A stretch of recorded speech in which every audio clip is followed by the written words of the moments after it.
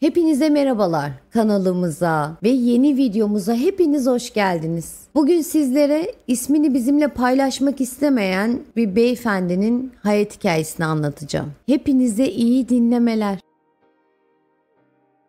Lale Hanım merhabalar. Ben 32 yaşında bir erkeğim ve başımdan geçen bir takım olayları sizlere anlatmak istiyorum. Anlatacağım olaylar bazılarınıza çok ağır gelebilir. Bazılarınız için de benim yüküm daha ağır dedirtebilir. Ama unutmamak gerekir ki herkesin derdi kendine. Bu arada ismimi falan da paylaşmak istemiyorum. Benim babam asker. Annem ev hanımı. Çocukluğumun tamamı özel okullarda geçti. Zeki bir çocuktum. Ama maddi durumumuz kötü olmasa da sınıf arkadaşlarımınki kadar iyi olmadığı için genelde dışlanırdım. Sadece okulda da zorbalığa uğramazdım. Zorbalığın büyüğü benim için evdeydi. Çok küçük yaşlarda başladı benim hayatla olan serüvenim. Bir çocuğun en büyük şansı nedir biliyor musunuz? Ailesidir. Annem çok iyi bir kadındı. Hakkını yiyemem. Ama babam onun için aynı şeyleri söylemem mümkün dahi değil. Mesela çok küçükken bir keresinde bayramda annemin yaptığı bir tepsi baklavayı yere düşürdüm diye tüm gün boyunca odama kilitlemişti beni.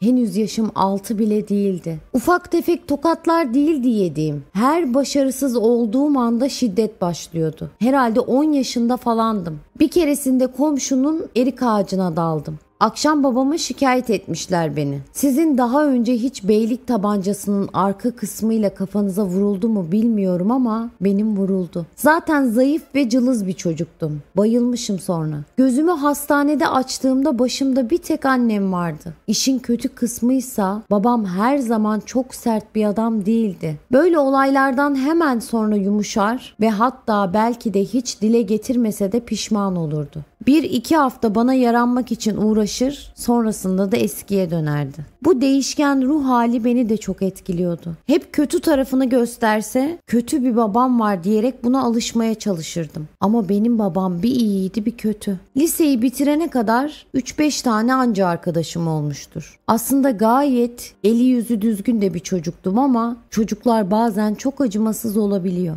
Babam askerdi demiştim ya hani. Hayatım boyunca her işi süreyle yapmayı ve çok dakik olmayı aşırı küçük yaşlardan itibaren aşıladı bana. Aşıladı dedim ama mecbur bıraktı. Yani böyle söylesem daha doğru olur herhalde. Evden çıkış, eve giriş, uyku, duş saatim bile belliydi ve birkaç dakika bile geç kalmam ceza almama sebep oluyordu. Yalnızca fiziksel değil, aynı zamanda psikolojik şiddet de uyguluyordu bana. O hep benim çok iyi futbol oynamamı, çok iyi yüzmemi ya da başka bir spor dallarıyla ilgilenmemi istiyordu. Fakat benim spora karşı bir ilgim yoktu. Futboldan nefret ederdim, hala da ediyorum. Yüzmeyi severdim aslında ama hiçbir zaman çok iyi bir yüzücü olamadım. Benim sanata ilgim vardı. Müzikle uğraşmayı çok severdim mesela mesela. Bir de edebiyat. Kendi kendime şiirler yazar, sonra da onları bestelerdim. Lise bittikten sonra ne kadar müzik alanından ilerlemek istesem de babam buna sıcak bakmadı ve ben de ona karşı gelemedim. Gelemezdim çünkü. Kaç kere harçlıklarımı biriktirip zorla aldığım gitarı parçalara ayırdı bilmiyorum. Sonra sınav sonuçları açıklandı. Ben sayısaldan dereceye girmiştim. Babamla oturduk konuştuk. İkimizin de içine sinen bir bölüme karar verdik. Bu sefer devlet üniversitesine gidecektim. Ve çevremdeki insanlar daha da normal insanlar olacaktı. Üstelik babamdan ve onun değişken ruh halinden de uzak olacaktım. Oldukça heyecanlıydım. Üniversitenin ilk haftası sınıftan bir çocukla tanıştım. İkimiz de müzikle uğraşmayı falan çok seviyorduk. Pek çok ortak noktamız da vardı aslında. Sonra bu arkadaşım bir kulübe katılmış bölümle alakalı. Bana da katılmamı söyledi. Ben de hem birazcık insanlarla sosyalleşirim hem de yeni kişileri tanırım diye kabul ettim. Katıldığım kulüp tanışma yemeği düzenlemeye karar verdi. İlk başta akşam yemeği denildi. Ama sonrasında kulüp yöneticileri kararı değiştirerek kahvaltı yapalım dedi. Bir kafe belirlendi. İşte biz de oraya gidip kahvaltı falan yaptık hep birlikte. Özellikle birbirlerini hiç daha önce tanımamış insanlar tanısın diye karşılıklı, yan yana vesaire oturtulmuştuk. Biz de ilk başlarda arkadaşımla birlikte iki kızın yanına oturduk. Fakat kızlardan ben pek hoşlanmamıştım. Özünde iyi insanlardır muhtemelen ama bana çok hitap eden kişiler değildi. Ortak noktalar bulamamıştık aramızda. O gün bu vesileyle birkaç kişiyle daha tanıştım. Kahvaltı yapıldıktan sonra bir kahve içelim faslı başladı. Bu sırada biz sürekli aynı yerde oturduğumuz için farklı masaya geçen farklı insanlarla tanışırsınız dendi. Ben de arkadaşımla birlikte çapraz yanımızda bulunan daha büyük olan masaya geçtim. İlk aşkımla da işte tam olarak burada tanıştım. Şu an bu olayı çok rahat bir şekilde ve üzerinden atmış bir şekilde yazıyorum size. Ama birkaç sene önce olsa muhtemelen bunları yazarken size ağlardım. Aşık olduğum kadın çok güzeldi Lale Hanım. Simsiyah saçları vardı kocaman gözleri ve bembeyazda bir teni vardı. Çok etkilenmiştim ondan. Aynı zamanda da çok olgun konuşuyordu. Böyle farklı itici yanları yoktu ve insanı kendine çeken bir havası vardı. Ya da bilmiyorum ben ona karşı aşık olduğum için böyle hissediyordum. Dedim ya ben genelde dışlanan ve çekingen olan taraftım. Ama ilk defa bütün cesaretimi toplayıp sosyal medya hesabını istedim ondan. Tabi o zaman bazı sosyal medya uygulamaları bu kadar popüler değildi. Hepinizin de aklına gelebileceği gibi Facebook kullanıyorduk. O akşam ben dayanamadım. Bu kıza bir mesaj attım ve biz konuşmaya başladık. Yaklaşık 2-3 hafta kadar konuştuk. Sonrasında ben onunla buluşmak istediğimi, onunla daha fazla vakit geçirmek istediğimi söyledim. O da kabul etti. Ve böylece bizim ilişki serüvenimiz de başlamış oldu. İki ayın sonunda sevgili olmuştuk. Hazırlıkla beraber 5 yıl okudum ben. Biz bu 5 yılın her anını neredeyse birlikte geçirdik. Çok güzel zamanlarımız oldu. Çok güldük, çok eğlendik. Yeri geldi ağladık. Bazen sinir krizleri geçirdik. Ama her zaman onu anlamaya çalıştım. Bu arada o yarı Türk yarı yabancıydı. Annesi ve babası Fransa'da tanışmış. Daha sonra babasının işleri nedeniyle Türkiye'ye taşınmışlardı. Uzun yıllar yurt dışında kaldığı için Türk kültürüne de çok hakim değildi aslında. Ama bu arada ismi de Türk ismiydi. Konuşmasında da herhangi bir aksaklık yoktu. Yani en azından ilk etapta göze çok batmıyordu diyeyim. Sokakta görseniz normal bir Türk kızı diyebilirsiniz herhalde. Dedim ya arada böyle bazı kültürel farklılıklar vardı. Yani bana bazen normal gelen şeyler ona çok normal gelmiyordu. Ona normal gelen şeyler de bana normal gelmiyordu. Bir de o üniversiteye devam ederken annesiyle babası boşandı ve bunun yıkımını ve üzüntüsünü çok uzun bir süre yaşadı. Biz birlikte çok fazla sorun atlattık. Kız arkadaşım araştırmayı, öğrenmeyi çok severdi. Fakat batıl inançları olan bir insandı. Müslüman ya da Hristiyan değildi. Tek tanrılı dinlere inanmıyordu. Ama bir yaratıcının olduğuna ve bu yaratıcının da doğayla bütünleşik olduğuna inanıyordu. Onun inancına bir çeşit şaman inancı demek belki doğru olabilir. Onun dini inancı benim için kesinlikle ön planda değildi. Nasıl bir inanca sahip olduğu yalnızca onu ilgilendirirdi. Fakat dedim ya farklı batıl inançlara sahipti ve bu bana zaman zaman garip geliyordu. Oldukça garip ritüeller yapıyordu. Birkaç kere toplu bir şekilde ayinlere de katılmıştı. Ama hem ben sıcak bakmadığım hem de pek sevmediğim için gitmeyi bıraktı. Evde hep bir tütsü yanardı. Garip garip çaylar demlenirdi. Dediğim gibi benim için sorun yoktu. Ancak annem dindar bir kadındı. Onunla bu konuda hiç anlaşamıyorlardı. Annem onunla birlikte olmamdan memnun değildi ama ben seviyorum diye sesini de çıkartmıyordu. Bu arada eşimin annesi de koyu bir Hristiyandı. Anlayacağınız tam bir kültür karmaşası içerisindeydik. Yine de bir şekilde onu anlamaya çalıştım. Çünkü ben de zaten çok dindar bir insan değildim. Sözde kendime Müslüman diyordum. Evet diyordum belki hala da diyorum ama öyle çok dinine bağlı bir insan olamadım hiçbir zaman. Hani böyle derler ya çok dindar adam falan diye. Belki de benim fıtratımda çok inançlı bir insan olmak yoktu. Buna rağmen bazen böyle şeylere inanmasa dediğim oluyordu hep.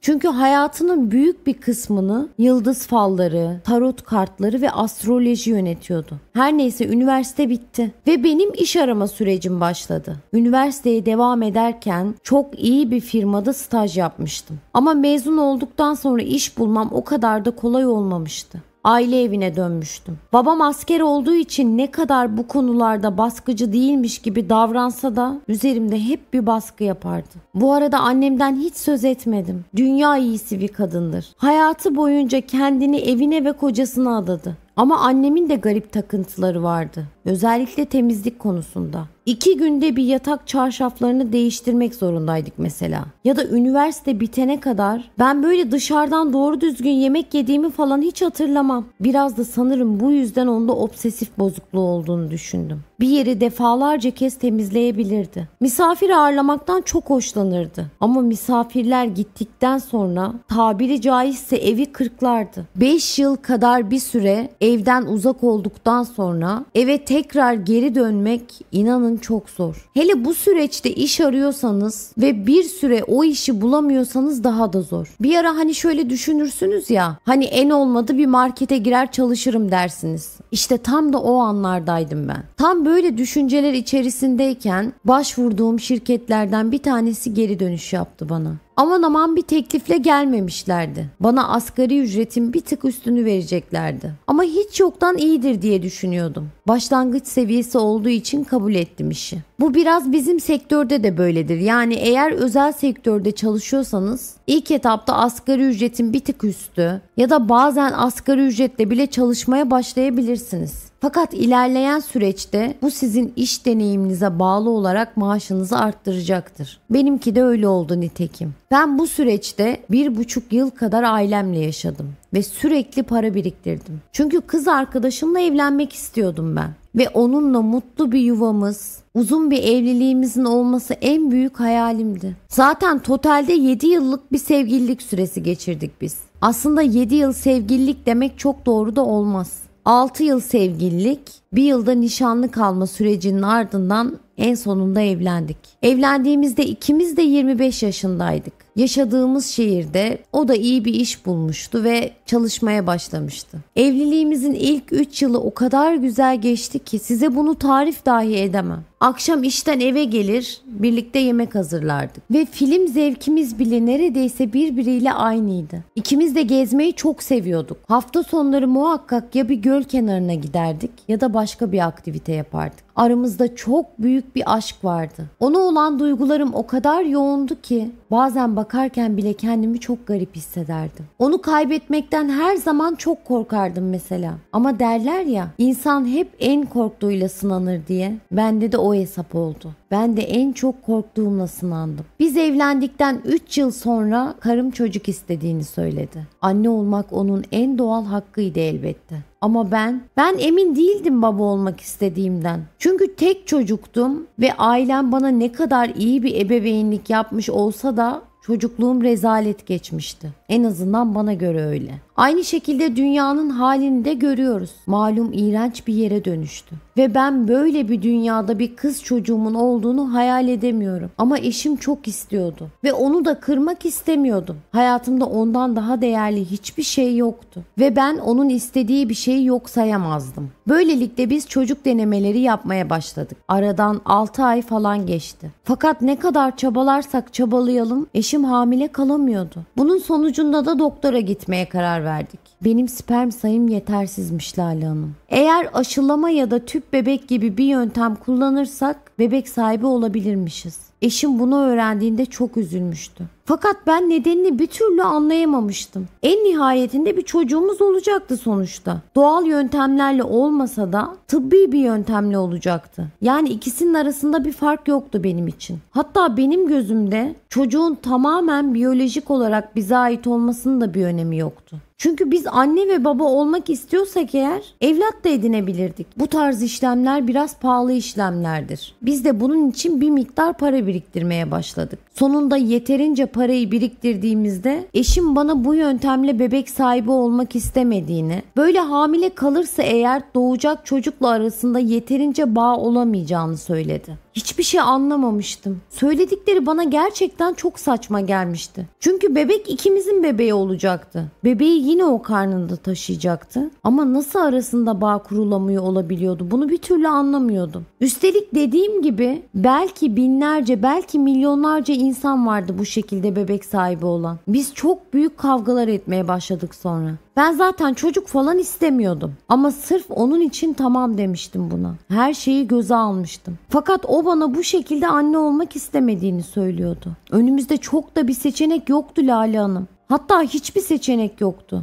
ve ayrıldık. Daha doğrusu eşim beni terk etti. Bu gerçekten ama gerçekten bir erkeğin başına gelebilecek en kötü olaylardan birisi. Kendimi yapayalnız hissetmiştim. Hiç sevilmediğimi, önemsenmediğimi düşünmüştüm. Ben onun için onun önüne dünyaları sermeye hazırken onun bana böyle bir şey yapması çok zoruma gitmişti. Aylarca kendime gelemedim. İşe gitmek zorundaydım, çalışmak zorundaydım ama her şey o kadar çok zor geliyordu ki o eve gidesim bile gelmiyordu. En sonunda o evi kapatıp ailemin yanına geri döndüm. İş yerinde ruh gibiydim. Çalışma performansım azalmıştı. İnsanlarla konuşmuyordum. Hayat benim için çok kötü bir hal almaya başlamıştı. Daha kötüsü annem ve babam da bu duruma çok üzülüyordu ve onları bu halde görmek benim canımı daha da yakıyordu. Bu süreçte öğrendim ki aslında tek nedeni doğal yöntemlerle çocuk sahibi olmamamız değildi. Hayatında başka birisi vardı ve beni yaklaşık bir yıldır onunla aldattığını öğrendim. Tam olarak ne zaman tanıştıklarını bilmiyorum. Ama muhtemelen bu bebek muhabbetleri döndükten hemen sonra ya da o civarlarda tanıştılar. Ben ona dokunmaya bile kıyamıyordum. Ruh halim o kadar kötüleşmişti ki bir ara yemin ediyorum size intihar etmeyi bile düşündüm. Şu an düşünüyorum da ne kadar da aptalmışım. Kimse için böyle bir şey yapılır mı ya? Benim ruh halim kötüleşmeye devam ettikçe tabii ailem de benim için çok fazla endişelenmeye başladı. Ve en sonunda bir gün babam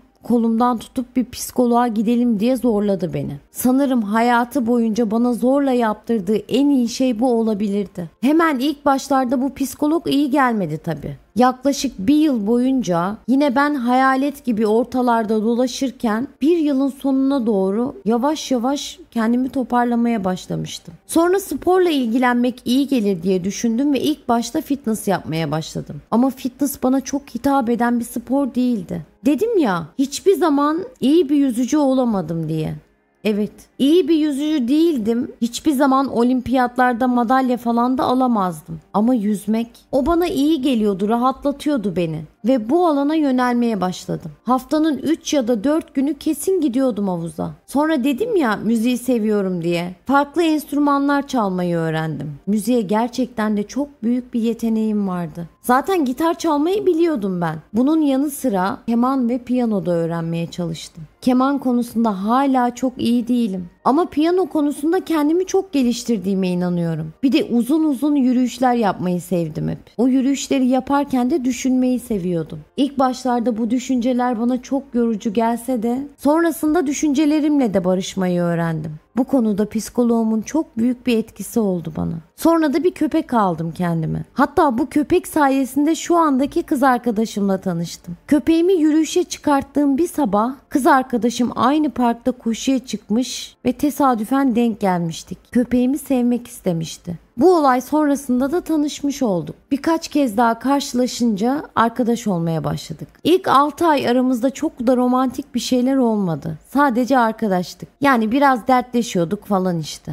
İkimiz de birbirimize yabancıydık aslında. Ve inanın bana bir yabancıya dertlerinizi anlatmak daha rahatlatıcı. Ve sonrasında sevişmeye başladık onunla. İkimizin de hayatında kimse yoktu. Ama ikimizin de bir takım cinsel ihtiyaçları vardı. İlk başlarda sadece sevişen iki arkadaştık. Sonrasında çok daha fazlası oldu. İlk evlendiğim kadına dair hissettiğim bazı şeyler neredeyse 10 katına çıkmıştı. Ve çok huzurluydum Lale Hanım. O kadar huzurluydum ki emin olun bu dünyadaki en önemli şeylerden biri de huzur. Ben ondan önce kimseye güvenemem diyordum. Yanılmışım. Ama en güzel yanılgım bu oldu benim. Eski karımın hayatını belki merak ediyorsunuzdur. Beni terk ettikten sonra o adamla evlenmiş. Ancak evlilikleri hiçbir zaman yolunda gitmemiş. Ortak arkadaşlarımız öyle söyledi. Çocukları da olmuş. Tam da istediği gibi. Fakat adam alkol sorunu yaşıyormuş. Sonrasında da ayrılmışlar. Bizim ayrılığımız ve ardından hemen başka bir adamla evlenmesine ailesi sıcak bakmamış. Annesiyle aramız hiçbir zaman iyi olmamıştı zaten ama babasını severdim. O da beni severdi. O adamdan ayrıldıktan sonra yapayalnız kalmış. Bir gün köpeği yürüyüşe çıkardıktan sonra eve gelip ellerimi yıkarken aniden kapının çaldığını fark ettim. Kapıyı bir açtım ki bir de ne göreyim. Kapıda eski eşim. Kucağında da bir bebek. Hani derler ya tilkinin dönüp dolaşacağı yer kürkçü dükkanı diye. Normalde onu asla eve almazdım. Ama elindeki o küçücük bebeğe kıyamadım. Eve buyur ettim. Başından geçen tüm hikayeyi, yaşadıklarını, ne kadar pişman olduğunu anlattı bana ve bana dönmek istediğini söyledi. Bense ona karşı artık duygularımın yok olduğunu ve hayatımda biri olduğunu anlattı. Zor olsa da hayatımda bir şeyler artık yoluna girmişti ve tekrar bozulmasını istemiyordum. Öte yandan kız arkadaşıma da bunu yapamazdım. Tabii ki kucağında küçük bebek olan bir kadına ne kadar isterseniz isteyin kötü davranamıyorsunuz. Bir de o bebek için gerçekten çok üzülüyordum. Bana beni çok sevdiğini ve tekrar barışmak istediğini defalarca kez söyledi. Fakat ben de net bir şekilde onunla barışmak istemediğimi söyledim. Ona bir miktar para teklif ettim ancak dilenci olmadığını ve beni sevdiği için buraya geldiğini söyledi. Bu da onun son görüşüm oldu. Şu an nerede, ne yapıyor inanın hiç bilmiyorum. Bebek ne halde onu da bilmiyorum. Evet bebek için üzüldüm ama annesinin hatalarının bedelini ben çekmek zorunda değilim değil mi? Zaman zaman bazen ayrılmasaydık hayatımız nasıl olurdu diye düşünüyorum. Sonrasında da beni bu şekilde aldatan bir kadından iyi ki ayrılmışım diyorum. Geçmişi bir kenara bıraktım ben Lale Hanım ve geleceğime odaklanmaya çalışıyorum. Ve zamanla da her şeyin daha iyi olacağına inanıyorum. Beni dinlediğiniz için teşekkür ederim. Evet arkadaşlar dinleyicilerimizden ismini vermek istemeyen bir beyefendinin hayat hikayesini paylaştım bugün sizlerle. Kendisi oldukça zorlu bir ayrılık sürecinden sonra başka bir kadınla tanışıp hayatını yeniden şekillendirdiğini söylemiş bize. Ben de kendisine buradan şunu söylemek istiyorum. Evet bazen hayat çok kırıcı olabiliyor. Yani en güvendiklerimiz bizi sırtımızdan vurabiliyor. Fakat buna rağmen asla umudumuzu yitirmemeliyiz. Ve siz de o doktora giderek inanın bana hayatınızda yapabileceğiniz en büyük iyiliği yapmışsınız kendinize. Ve şu anda mutlu mesut bir hayat yaşıyormuşsunuz. Size yeni hayatınızda güzellikler, başarılar ve mutluluklar diliyorum. Ayrıyetten bana gösterdiğiniz ilgiden dolayı da teşekkür etmek istiyorum. Sizlerin de bu beyefendi gibi benimle paylaşmak istediğiniz itiraflarınız, yaşanmışlıklarınız, anlatmak istedikleriniz varsa eğer ben Lale buradayım. Lütfen benimle iletişime geçin. Sevgiyle kalın, hoşça kalın.